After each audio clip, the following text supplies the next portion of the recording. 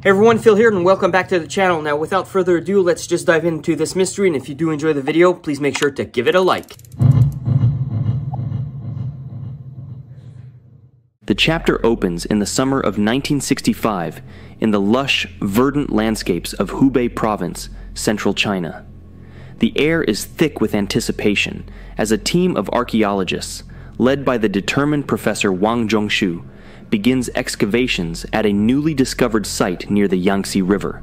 This site, located in the outskirts of the city of Jingzhou, is believed to be a significant historical treasure trove, potentially holding relics from the tumultuous spring and autumn period, approximately 771 to 476 BC. Introducing the diverse team, each member is characterized by their unique expertise and shared passion for uncovering the past. Professor Wang, a seasoned archaeologist with decades of experience, is accompanied by Zhang Yiren, a Jung, enthusiastic historian specializing in ancient Chinese warfare, and Liu Mei, a skilled conservator known for her meticulous approach to preserving ancient artifacts. Together, they are supported by a group of eager local students and experienced diggers. As the team carefully excavates the site, they uncover the entrance to a tomb, hidden beneath layers of earth and time. The excitement grows as they navigate through a corridor adorned with intricate carvings depicting scenes of ancient battles and mystical creatures, hinting at the tomb's noble origins.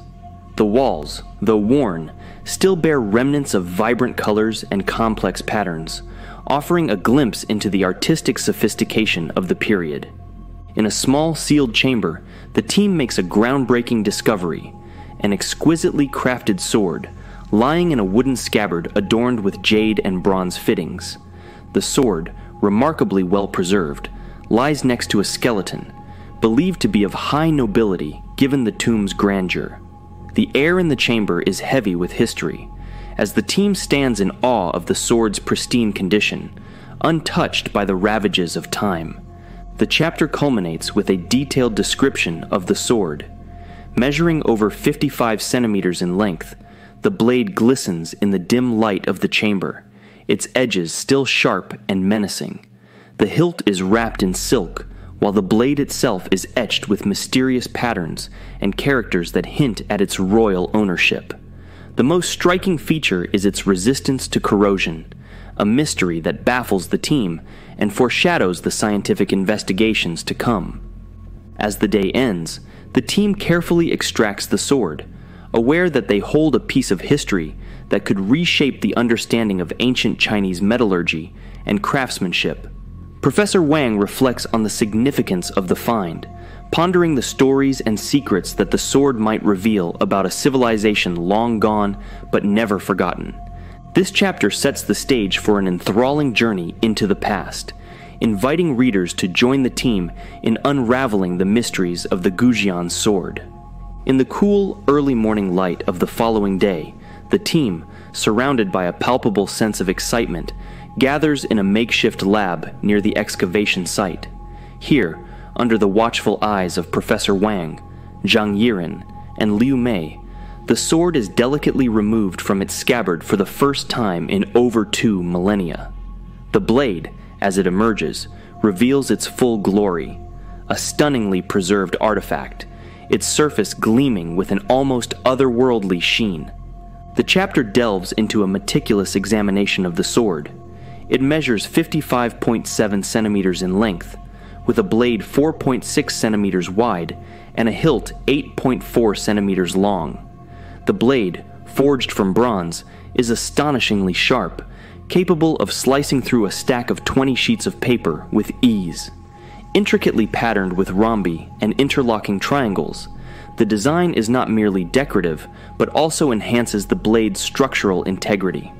The edge of the blade features a unique composition, with a higher tin content than the rest of the sword, which explains its remarkable sharpness. The guard and the pommel are expertly crafted, featuring a delicate balance of bronze, iron, and lead, indicative of an advanced understanding of metallurgy. The most intriguing aspect of the sword is its inscriptions. Two columns of text, with eight characters in total, run along one side of the blade. The characters are elegantly carved, each stroke precise, evoking the skill of a master calligrapher. The inscription reads, King of Yue, and made this sword for his personal use. This discovery sparks a heated debate among the team members about its implications, suggesting a direct link to the historical figure, King Goujian. The chapter also touches on the almost mystical aura surrounding the sword. The local laborers and students share legends they heard from their elders about a mighty king and his invincible sword, linking the newly discovered artifact to these ancient tales. This blend of historical fact and folklore adds a layer of intrigue and wonder to the discovery. Liu Mei leads the initial preservation efforts. Despite its excellent condition, the sword still requires careful handling to prevent any deterioration the team establishes a controlled environment with regulated humidity and temperature to mimic the conditions of the tomb. This section showcases the painstaking efforts in conserving such a priceless artifact, balancing the need for study with the imperative of preservation. The chapter concludes with the team reflecting on the significance of the sword. It is not just a piece of metal, but a link to a long lost era, a tangible connection to the people culture, and technology of ancient China. Professor Wang, gazing upon the sword, muses about the countless stories it could tell, the battles it might have seen, and the hands it passed through, contemplating its journey through the annals of history. This detailed exploration of the Goujian sword sets the stage for deeper investigations into its origins, its maker, and the era it hails from, promising a journey rich in history, science, and mystery. The chapter begins with a vivid portrayal of the tumultuous spring and autumn period of Chinese history, a time marked by political upheaval and continuous warfare among the various states. It sets the stage for the introduction of King Goujian of Yue, a pivotal figure known for his resilience and strategic brilliance. The narrative transports the reader back to the 5th century BC, offering a glimpse into the life and times of this enigmatic ruler. The story of King Goujian unfolds, chronicling his early years as a ruler facing immense challenges. His initial defeat by the neighboring state of Wu and subsequent three year captivity are detailed, highlighting his extraordinary patience and determination. The narrative captures his remarkable comeback, fueled by a blend of cunning diplomacy and military strategy eventually leading to his triumph over Wu and solidifying his status as a legendary leader. Within this historical context, the chapter delves into the symbolic significance of the sword. For Goujian, the sword was not just a weapon, but a representation of his journey from humiliation to sovereignty. It symbolized his unyielding spirit and the resilience of the Yue people.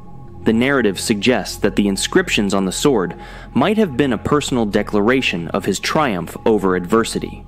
The chapter paints a vivid picture of the cultural and political landscape during King Goujian's reign. It explores the intricacies of court life, the advancements in arts and sciences, and the complex relationships between different states. This backdrop provides a deeper understanding of the environment in which the Goujian sword was crafted and used. Moving from historical facts to the realm of legends, the chapter explores various folklore and myths that have sprung up around King Goujian and his sword. Stories of his unwavering dedication, such as sleeping on straw and tasting gall to remind himself of his hardships, add a mythical layer to his character. The sword, in these tales, often features as a divine instrument, bestowed upon Goujian by the heavens to achieve his destiny. The chapter interweaves the current archaeological findings with historical records and oral traditions. It examines other artifacts found in the tomb, such as ceremonial vessels, jade ornaments, and inscribed tablets, which collectively paint a portrait of King Goujian's era. These discoveries provide crucial corroborative evidence, linking the sword to the historical figure and his time. The chapter concludes with a contemplative reflection on the intersection of history and legend. The team, especially Zhang Yiren, ponders over the enduring legacy of King Goujian and how the sword serves as a tangible connection to a past that blurs the lines between fact and folklore. This connection brings to life a story that has survived for over 2,000 years, resonating through the ages, through a blend of historical analysis, narrative storytelling, and archaeological insights. This chapter offers a comprehensive and engaging exploration of King Goujian's legacy and the enduring mystique of his legendary sword. The chapter opens in the modern day lab, where the team is bewildered by the Goujian sword's astonishing state of preservation. Despite being buried for over 2,000 years, the sword exhibits no signs of corrosion, a phenomenon rarely seen in artifacts of its age. The chapter sets out to explore the scientific and environmental factors that contributed to this remarkable preservation. A team of material scientists, led by Dr. Chen Hui, is introduced. They undertake a comprehensive analysis of the sword's composition. Using advanced techniques like X ray fluorescence and electron microscopy, they discover a unique combination of copper, tin, and small amounts of lead and iron in the bronze alloy. This specific composition, they hypothesize, played a crucial role in preventing rust. The chapter also delves into the environmental conditions of the tomb. The team hypothesizes that the airtight scabbard, combined with the stable, dry climate of the tomb, created an ideal preservation environment. Detailed analysis of soil samples and microclimatic conditions of the tomb are presented to support this theory the narrative shifts to the astonishing level of metallurgical skill evident in the sword's construction. Experts in ancient metallurgy are consulted, who explain how the swordsmiths of Goujian's time might have achieved such a high quality alloy and crafting technique. The process of smelting, refining, and casting the bronze, as well as the precision required in adding trace elements, is explored in detail.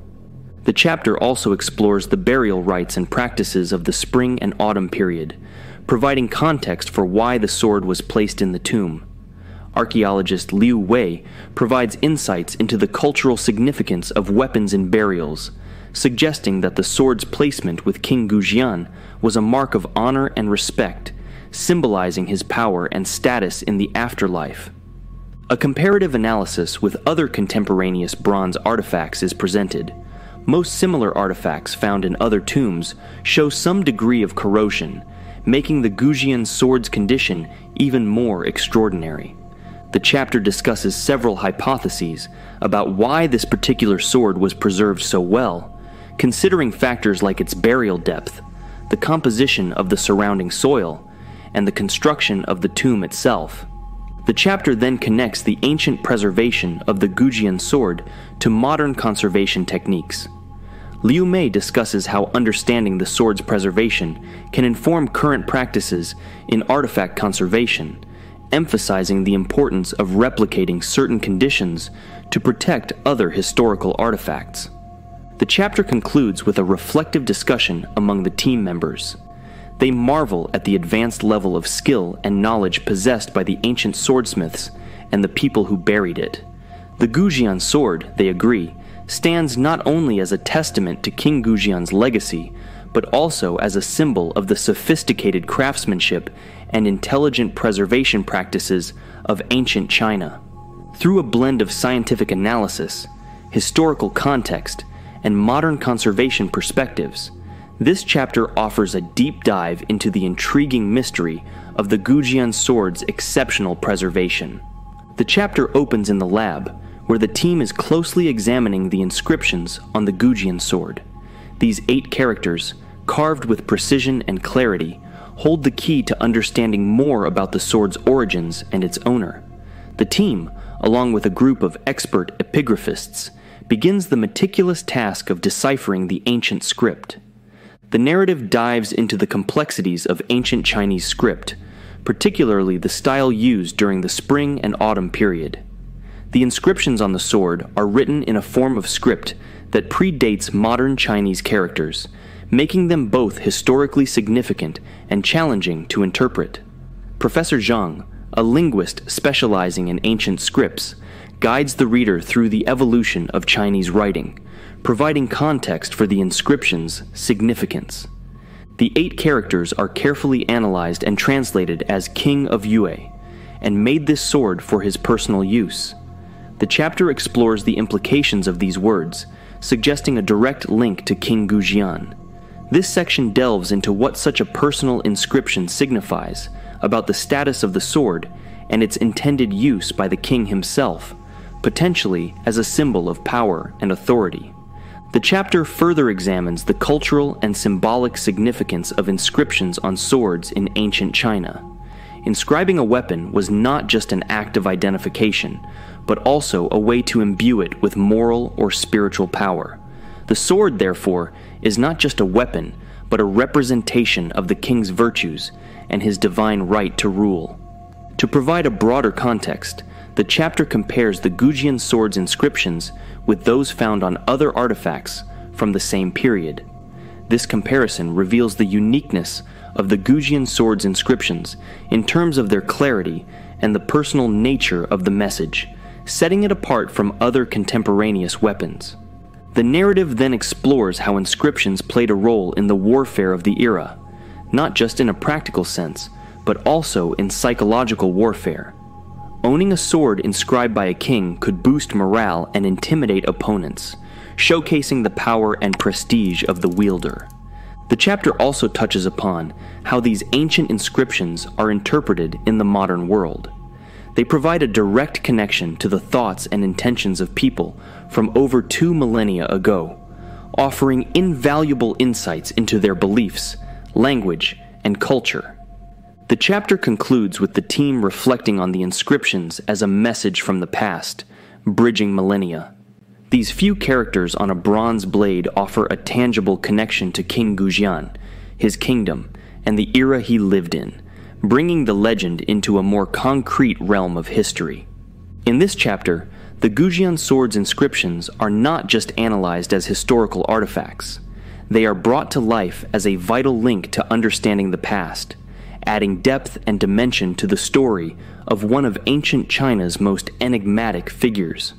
This chapter begins with a vivid description of an ancient Chinese forge, painting a picture of the environment where the Goujian sword might have been created. The narrative takes the reader through the bustling atmosphere of the forge, with the heat of the fires, the clang of hammer on anvil, and the meticulous focus of the swordsmiths. This setting provides a backdrop for exploring the advanced metallurgical techniques of the time. The core of the chapter is a detailed examination of the sword's construction. The narrative breaks down the technical aspects of the sword making process, starting from the selection of raw materials to the final assembly. The unique composition of the bronze alloy, the precise method of layering and folding the metal, and the careful tempering process are all explored in depth. The chapter also discusses how these techniques contributed to the sword's durability sharpness, and resistance to corrosion. Attention is then turned to the intricate patterns etched into the blade. These geometric designs are not only aesthetically pleasing, but also serve to enhance the sword's structural integrity. The chapter delves into the possible symbolic meanings of these patterns, drawing connections to ancient Chinese beliefs and the symbolism associated with royalty and warfare. The narrative shifts to the present, where a group of modern swordsmiths attempts to replicate the Goujian sword's craftsmanship. These efforts highlight the complexity and skill involved in ancient sword making. The challenges faced by contemporary craftsmen in emulating these ancient techniques underscore the advanced level of metallurgical knowledge possessed by the sword's original creators. To place the Goujian sword in a broader context, the chapter compares it with contemporary swords from other cultures, such as the Roman gladius and the Greek xiphos. This comparison not only showcases the uniqueness of the Goujian sword, but also highlights the global advancements in metallurgy and weaponry during the period. The chapter pays homage to the anonymous swordsmiths who created the Goujian sword. It speculates about their lives their dedication to their craft, and the pride they must have felt in creating such a masterpiece. The narrative suggests that the sword is not just a relic of King Goujian, but also a testament to the skill and artistry of its makers. The chapter concludes with a reflection on the Goujian sword as a perfect blend of art and science. The sword, in its elegance and functionality, encapsulates the sophistication of ancient Chinese metallurgy and design. It stands as a symbol of the ingenuity and craftsmanship of an era that, though distant in time, continues to fascinate and inspire. In this chapter, the Goujian sword is more than a historical artifact. It is a portal into the past, offering insights into the technological prowess and artistic sensibility of ancient China. The narrative weaves together technical analysis, cultural context, and human stories to bring the sword's creation to life. The chapter opens with a detailed description of the tumultuous era during King Goujian's reign, a period characterized by frequent conflicts and power struggles between various Chinese states. This historical backdrop sets the stage for understanding the role and significance of swords, like the Goujian in ancient warfare. The narrative delves into the dual role of the Goujian sword as both a practical weapon and a symbol of power and authority. The chapter explores how the sword's design, balance, and sharpness made it an effective tool in combat, while its ornate craftsmanship and inscriptions signified the high status and valor of its wielder, likely inspiring awe and morale among troops. The focus shifts to the specific tactical uses of the sword in battle. Historical accounts and military treatises from the era are examined to reconstruct the likely swordsmanship styles and combat techniques employed by warriors wielding such weapons. The narrative describes fast paced duels, intricate maneuvers, and the importance of agility and precision in swordplay. Using historical records and a bit of creative speculation, the chapter presents hypothetical scenarios of how the Goujian sword might have been used in key battles during King Goujian's campaigns. These narratives illustrate the sword in action, cutting through armor, deflecting enemy blows, and playing a pivotal role in the tide of battle. The narrative then explores the role of the sword beyond the battlefield. It discusses how such weapons were also used in ceremonial contexts, possibly in rituals to boost troop morale or in oaths of loyalty. The psychological impact of a king wielding a legendary sword like the Goujian is also examined highlighting how it could have served as a powerful symbol of leadership and divine favor. The chapter incorporates an analysis of the sword's condition, looking for signs of wear and tear that could indicate its use in combat. Experts in weapon conservation and forensic archaeology provide insights, analyzing the blade's edge for micro abrasions and impact marks that tell the story of its past encounters. The chapter concludes with a discussion of the Goujian sword's place in the broader context of military history. It reflects on how the sword, and others like it, influenced warfare tactics of the time, and how its legacy continued to inspire military leaders and swordsmiths in subsequent generations. Through a combination of historical analysis, tactical exploration, and imaginative reconstruction, this chapter brings to life the martial aspect of the Goujian sword, painting a vivid picture of its use in ancient Chinese warfare and its lasting impact as a symbol of power and martial prowess. The chapter opens by positioning the Goujian sword not just as a historical artifact, but as a powerful cultural symbol. It explores how the sword has come to embody the values of resilience and excellence reflecting the enduring spirit of ancient China.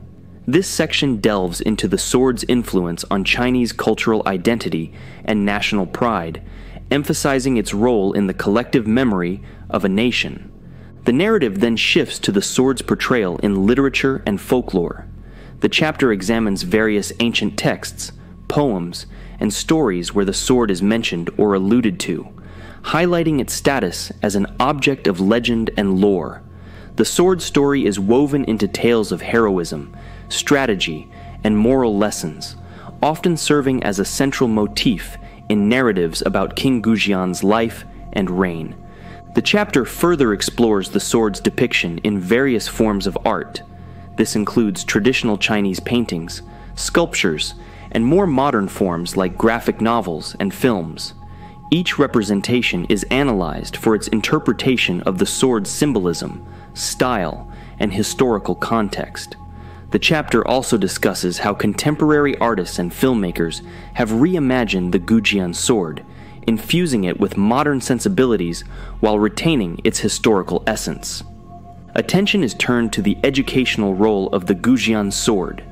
The chapter describes how the sword is displayed in museums, both in China and internationally, and the way it is presented to the public.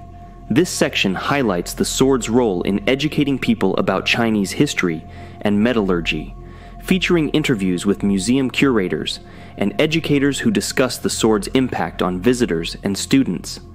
The Goujian sword's influence extends into popular culture, where it has inspired a resurgence in interest in ancient Chinese history and craftsmanship.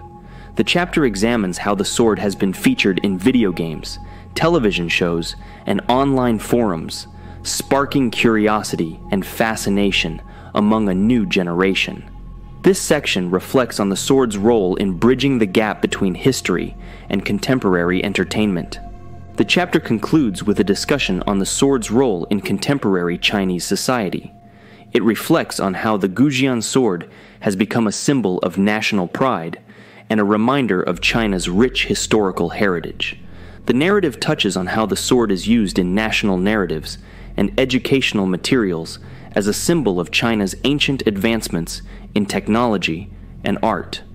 Through a rich tapestry of literature, art, education, and popular culture, this chapter illuminates the Goujian sword's profound impact on Chinese cultural heritage and its enduring legacy as a symbol of national identity and historical pride. The chapter begins by presenting the various theories and debates surrounding the Goujian sword's origins and history. It outlines the primary hypotheses proposed by historians and archaeologists, ranging from the sword being a personal weapon of King Goujian to it being a ceremonial object or a gift from a foreign dignitary. Each theory is explored in detail, considering the historical and archaeological evidence that supports or contradicts them. A significant portion of the chapter delves into the debate over the craftsmanship of the sword. Experts discuss the advanced metallurgical techniques evident in the sword's creation, sparking a debate about the level of technological advancement in the Yue state versus other contemporary civilizations. Theories about possible influences from other cultures, such as the Middle East or other regions of Asia, are examined, including the possibility of foreign craftsmen in Yue. The chapter then shifts focus to the tomb where the sword was found. Archaeologists and historians debate the identity of the person buried with the sword. While some argue that it was King Goujian himself, others propose it could have been a high ranking general or a close associate of the king. This section explores the evidence for each claim, including the layout of the tomb, accompanying artifacts, and skeletal analysis. The mystery of the sword's preservation is revisited with a more critical lens. The chapter discusses various theories about why the sword remained corrosion free for over two millennia. While some experts argue that it was due to the unique composition of the metal and environmental factors, others suggest that ancient preservation techniques might have been deliberately applied.